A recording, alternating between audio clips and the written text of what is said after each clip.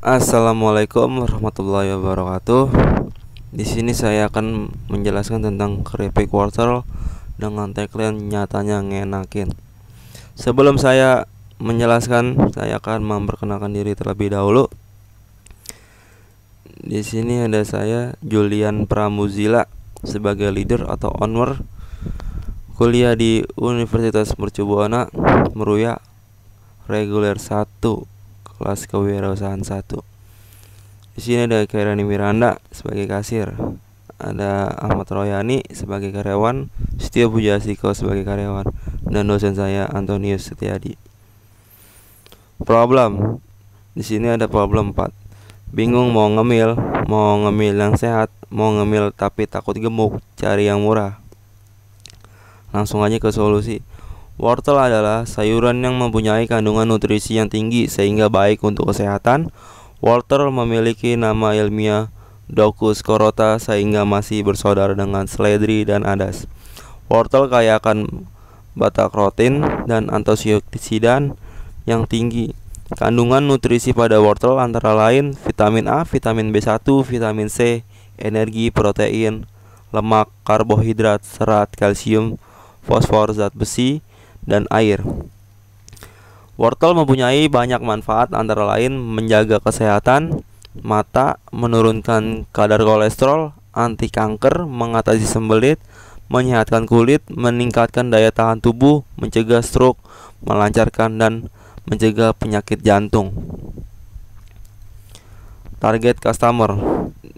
Di sini ada dua, pembelian pesanan langsung dan pembelian online lebih banyak pembelian lebih langsung.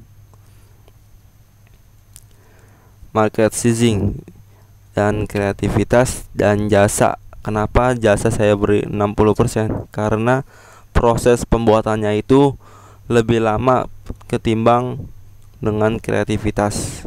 Maka dari itu jasa saya beri 60% dan kreativitas 40%. Nah, ini dia kemasannya dan selanjutnya ada monetization bisnis model kayak partner pengusaha catering kedua ada warung kecil tiga GoFood empat minimarket K activities budidaya wortel pengolahan wortel menjadi keripik aneka. Value proposition keripik wortel aneka rasa, gurih, balado original, dan keripik wortel kemasan oleh-oleh, kemasan praktis dan menarik semua sebagai teman kumpul. Customer relationship. Penjual langsung online atau ke outlet. Wrestler dan pada toko. Customer segmen, keluarga untuk oleh-oleh, remaja dan mahasiswa, dan anak-anak. Lalu Milestone di bulan Maret 2019 merencanakan usaha keripik wortel ini mencari supplier lebih banyak lagi.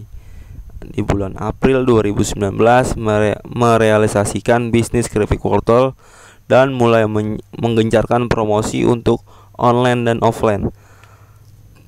Agustus 2019 bisnis berjalan lancar dan sudah memiliki beberapa pelanggan tetap. Total penjualan keripik wortel ini sampai bulan Agustus sudah terjual 200 piece. Januari 2020 bisnis masih berjalan dan pesanan keripik wortel per bulan kurang lebih 50 piece.